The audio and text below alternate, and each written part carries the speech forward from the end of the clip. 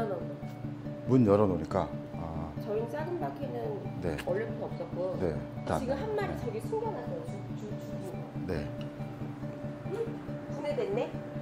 아, 저렇게 큰 거. 네, 요게 이제 일본 바퀴예요. 저렇게 사치만 봐도 알 수 있거든요. 일단 네. 일본 일부러 저기 어저께 쓸지 말라는데 어머 누가 먹은 건가?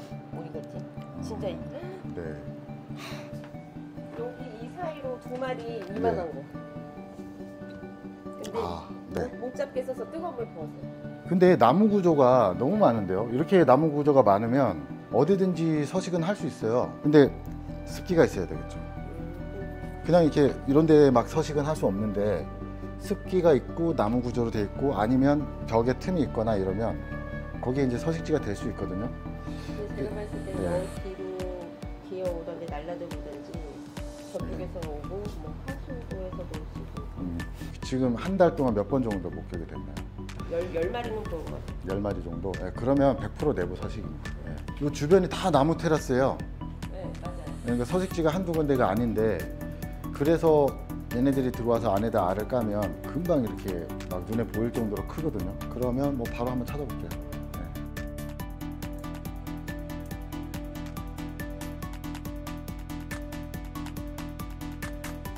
일단 여기 이런 틈새 같은 데는 어 여기 이 흔적 있잖아요. 여기. 네, 그 바퀴똥. 이게 바퀴똥이라기보다는 토사물이에요. 토사물. 바퀴벌레가 토하거든요. 먹으면 습관적으로. 그게 여기 벽에 묻은 것들이죠. 그러니까 여기도 뭔가 연관이 돼 있긴 한데 말라 있어요. 그러니까 서식지라고 보기는 힘들어요. 그럼 이제 주방으로 가보면 서식지가 큰 데가 있을 수 있어요. 주방이.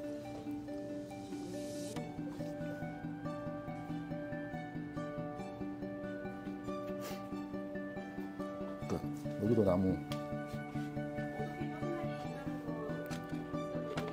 어? 아 여기네 여기. 여기 여기. 예. 여기 지금 보이잖아요. 바글바글해요 안에. 예. 몰라 싫어 안 볼래. 이게 지금 예, 벽이 갈라져 있고 뭐 주변에 물 있고 그쪽으로 물이 말고 그쪽으로 그러니까요. 그러니까 딱 서식지 찾는 건 이렇게 어렵지 않아요. 그 바퀴. 안에 있어요? 지금? 네, 잔뜩 있어요. 한 뿌려봐야 알겠지만 이거는 기다리지 않고요. 바로 잡을 거예요. 그냥. 그러면 뭐 이것만 잡으면 거의 해결될 것 같은데. 밑에 또 있나? 바닥에 박스를 깔아놨는데 다행히 박스에는 없고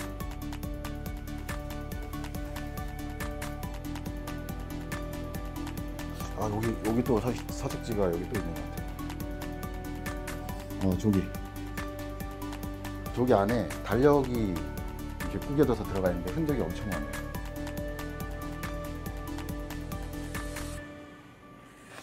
저걸 빼봐야지.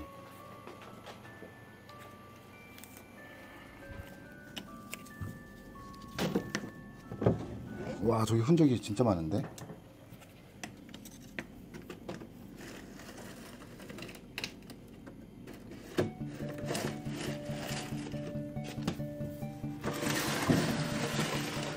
와. 여기 잔뜩 살았던 흔적이. 이게 일본 바퀴 토. 주위에는 그러면 종이나 이런 물건을 다 두면 안 되겠네. 어, 이렇게 종이를 껴놓으면 종이가 습기를 많이 먹으니까. 네. 그러니까 이런 데 서식을 어 있다. 이렇게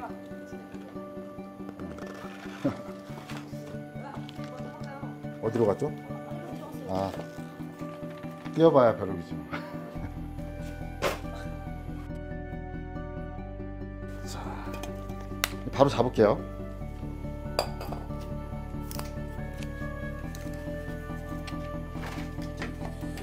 있네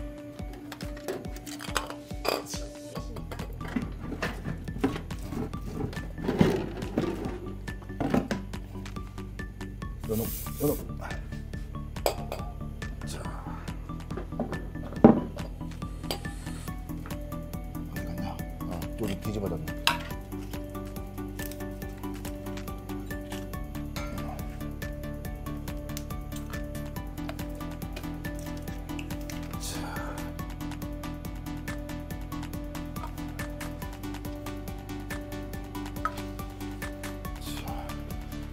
요거, 요거가 문제인데 이거는 그냥 바로 이렇게 뿌리면 바글바글 튀어나올 수 있어요.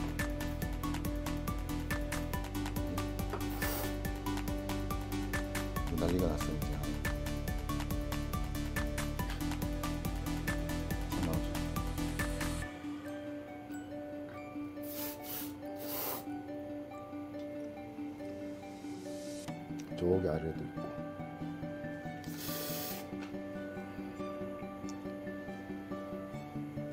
와, 맞네. 계속 나오네.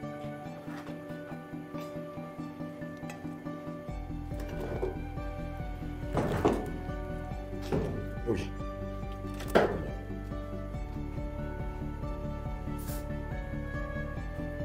이렇게 한번 거의 스치듯이 맞아도 얼마 못 가서 다 죽어.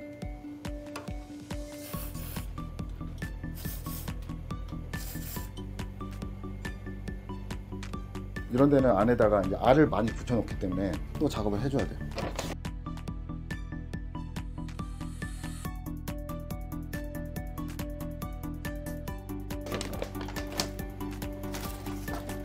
어 여기도 흔적 많네.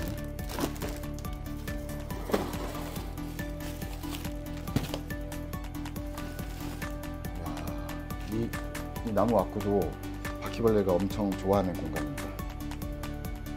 거 엄청 많고 저기 안에 껴서 여러 마리가 죽고 있네. 일본 바퀴 서식지가 확실히 특정만 되면 먹이제 쓸 필요가 없어요. 그냥 뿌려서 빨리 해결해 버리는 게 제일 좋아요. 근데 먹이제도 잘 먹기 때문에 만약에 며칠 더 두고 볼 수 있다 이러면은 먹이제 써도 충분히 되고 무방하고 근데 이 살충제를 안전하게만 쓸 수 있다면 살충제 쓰는 걸 권장합니다. 음, 다 나왔네. 이건 안 돼요. 음. 이런 데는 잘 들어가지 않아서 그것도 일본 바퀴는 이런 온열 기구를 별로 안 좋아해요. 냉랭하고 축축한 곳을 좋아하기 때문에 좀 이런 데는 어, 냉랭하고 축축하진 않지만 온도가 높지 않거든요. 주변에 이제 물을 구할 수 있는 데가 바로 있기 때문에 일본 바퀴가 들어와서 서식하는데 여기가 만약에 좀 축축했다 이러면은 번식을 엄청 했을 거예요. 이 안에서. 저쪽을 막으면 해결되는 건가요? 어, 저기를 막는 게 좋죠 일단. 틈이 이렇게 있으면 언제든지 또 들어와서 살 수 있기 때문에 막아주는 게 제일 좋습니다. 그러니까 물이 있고 틈이 있는 공간이 여기 말고도 어딘가 따로 또 있는지 한번 살펴보고요. 없으면 마무리 짓도록 하겠습니다. 의심되는 구역은 한 번씩 칙칙 이렇게 뿌려주면 돼요. 그러면 아까 보셨듯이 막 미친 듯이 나옵니다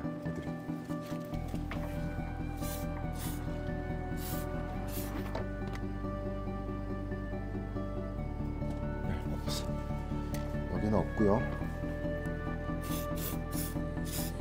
자, 여기가 또 아까 물을 뿌렸다고 하는 자리가 여기인데 아, 흔적은 좀 있네요. 바퀴벌레 똥, 토사물 이런 흔적이 많지는 않은데 좀 있긴 있어요. 요게 바퀴벌레 토사물 이렇게 붙어 있는 게 똥도 있고 토사물도 있고 토사물 여기 다닥다닥 붙어 있는 건 똥.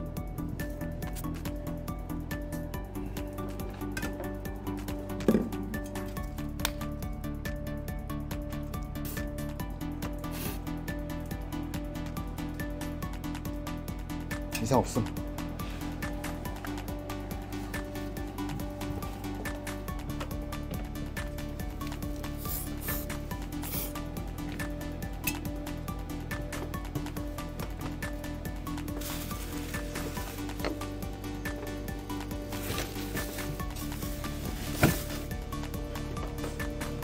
어, 아까 처음에 발견된 데가 여기라고 하셨는데 싱크대가 이렇게 있어요. 그럼 그 주변에 틈이 있는지 또 봐야죠.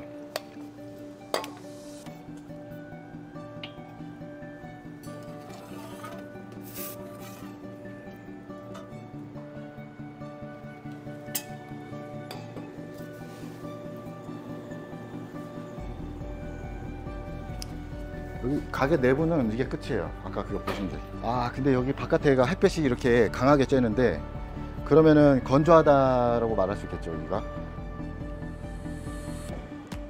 저 옆가게 보면은 바닥에 테라스 바닥에 지금 풀이 나 있잖아요. 수분이 그만큼 많다는 얘기죠. 저희가 서식지가 될 가능성이 높아요. 그리고 여기 옆에 무슨 창고 같은 공간 아래. 여기도 지금 문제가 좀 있는 것 같고. 앞가게도 여기 테라스. 저 벽돌. 야 이거 진짜 뿌려보고 싶다.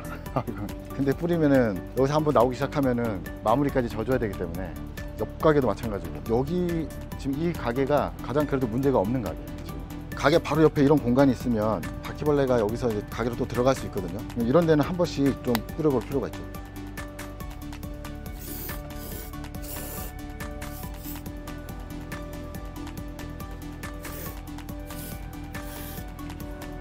그리고 수도 계량기.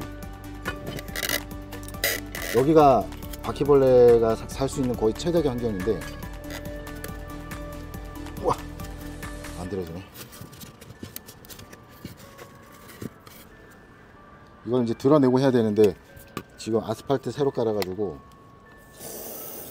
접착이 됐어요. 여기 또 괜찮은 것 같고. 외부 요인은 그렇게 심하지 않은 것 같아요